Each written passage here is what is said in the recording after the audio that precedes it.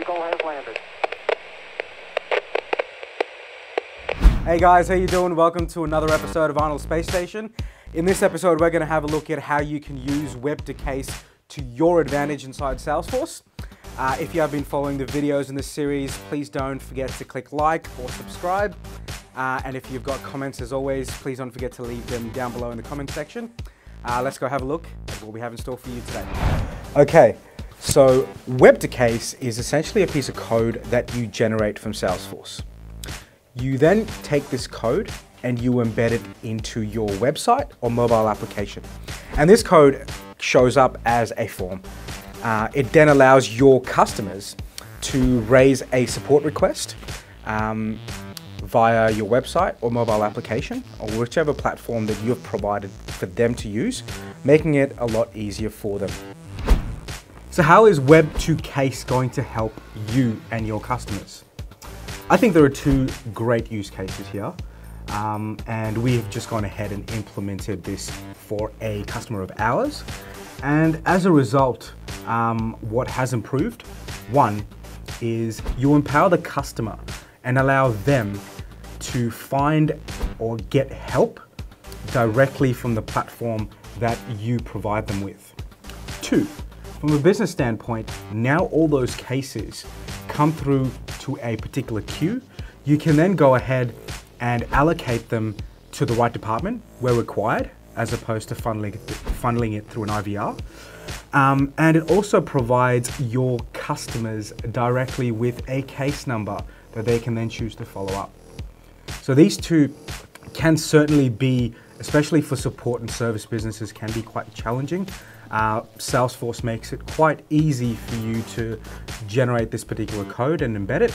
So we're going to go ahead and have a look at how this can be done inside Salesforce. Great. Once you've logged into Salesforce, uh, I'll get you guys to navigate to the top right hand corner uh, onto the cogwheel, click on Setup and enter Setup. Now, once you're in Setup using Quick Find, we're going to search for Web. And in here, the first place we're going to go under Service is Web-to-Case. Now in here, you can certainly have a read of the top uh, piece of content that's here. But what we're gonna need to do is we're going to need to enable Web-to-Case.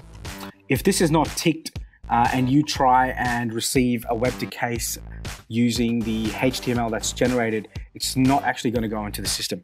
So by clicking that particular checkbox, we enable that for the system to pick up. The next thing we're gonna go ahead and have a look at is um, reCAPTCHA. So I'd highly recommend that you guys, in fact, do set this up. Uh, that way it'll just mean that you're not going to be spammed by bots and all sorts of things on the internet. Uh, but for this particular purpose, I'm not going to set it up. Um, I am going to create uh, a little video perhaps uh, further along the timeline to show you guys how to do this. Uh, but outside of that, we're going to make sure that there is a link in the description on how you can set up reCAPTCHA. Uh, just a point to note on that, you will need a Google account for you to be able to do that. The next and the, the, the last section we have under basic settings uh, is a default case origin. Now by, by default it is going to actually select web, but you can change that. Uh, I would recommend you guys leave that as is. It's great to know that that case was generated from the web. Uh, you can certainly click on, click on the eyes that exist to get some more information on uh, what that setting actually does for you uh, and how you can use it best. Once we've set up the basic settings, we then get into the auto response email settings. Now, this is kind of cool because then when someone submits a case, they will receive an email advising them uh, as a confirmation that a case has in fact been created by the system. Uh, in here, Salesforce has gone ahead and put in, by default, its generic web inquiries uh, support case created template. You can, however, change that and we will do a separate episode on email templates inside Salesforce. Um, and we can go through a lot more things in there. But if there is another template that you have set up, you can certainly click on this icon here and you can search through all the different folders that you've set up um, and all the different email templates by default that come from Salesforce, uh, but also you can create your own. Outside of that, we can choose to hide record information if required. I'm not going to do that in this case. uh, I'm going to leave that unchecked. The last thing that we need to consider is whether we want an email signature to be added as part of the template. We don't have to. Um, in this case, I'm just going to put my name just to show you guys that you can in fact put text. You can also use HTML, but if you are using uh, a text template, then uh, that HTML might not necessarily look as good as you like to the customer. So once we've set up everything under web to case and uh, we've reviewed our settings and it fits the business model, uh, or if you're running Salesforce. Uh, personally, as long as it fits your model in terms of your customer engagement, you can go ahead and click Save.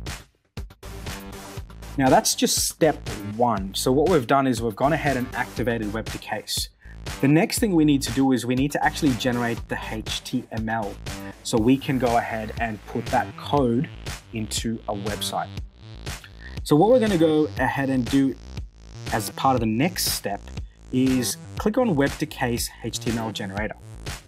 And what that's going to do is it's going to give us all the available fields that actually exist on the case. So if you've got custom fields, those will certainly show up um, and you can select those. So anything that has been selected to put on the form will appear on the right hand side and they will in fact appear in the order that the form will display. So in here, we've got our contact name, email, phone, subject, description. Uh, in most cases, it's recommended that you try and keep it up to four fields or so. Anything more than that uh, sometimes can be a little bit of an issue where customers find themselves not knowing what they need to select. So I'm going to just add one more field in here just so that I know which company they're um, they're asking for support from in the event that particular contact does not exist in Salesforce. So I'm going to move that up so it appears in that order. Um, if you have a portal, uh, you can choose whether that will be available and visible in your self-serve portal.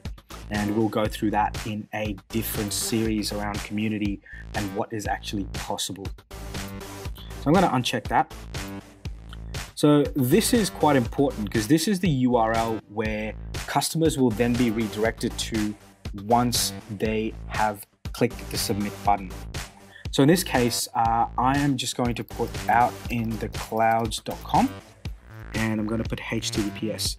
If you're unsure about this, I'd highly recommend maybe ask someone in marketing or maybe even your web dev company what is the thank you page and where it has been set up.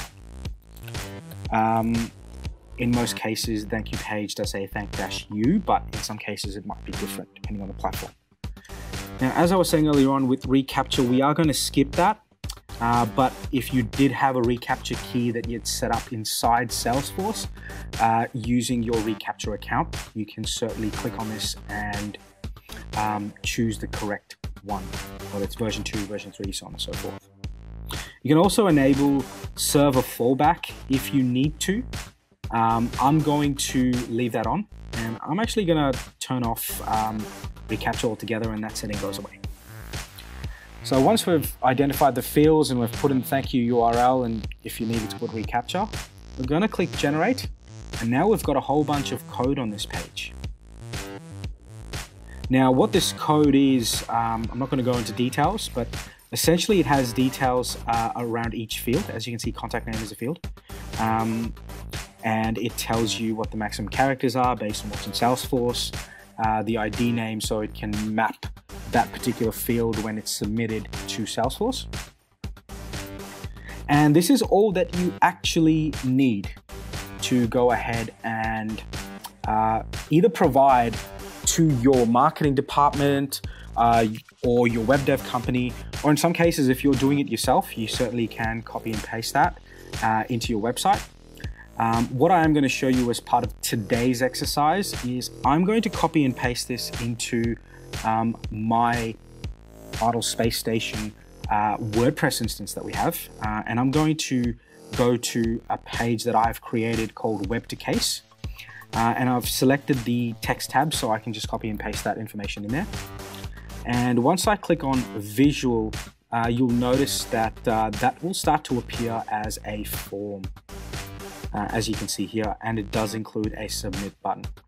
So what I'm going to do, I'm going to click update, and based on the theme settings that I've got in WordPress, I'm going to open this up and you will be able to see,